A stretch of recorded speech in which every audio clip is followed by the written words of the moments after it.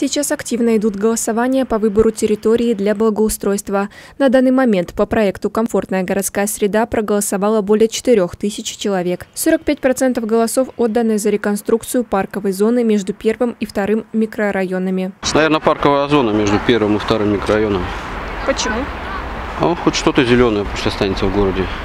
28% голосов отданы за благоустройство пешеходной зоны в третьем микрорайоне. По проекту «Любимый город» собрано 700 голосов. 50% голосов отданы за реконструкцию фонтана. Фонтан Вот пришел в хочется, негодность да, уже, да. он был Там такой, как, постоянно. как то, какой его открывали.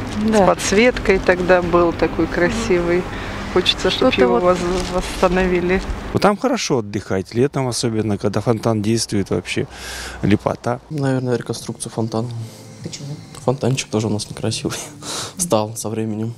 Плитка потрескалась. Вы можете проголосовать на сайте администрации Десногорска десногорск.админ-смоленск.ру в интернете на площадках Десногорск пресс-служба, Инстаграм, Фейсбук, Твиттер, ВКонтакте и по адресу десна-пресс собака админ-смоленск.ру. Уважаемые десногорцы, принимайте активное участие в голосовании. Давайте сделаем наш город красивее и лучше.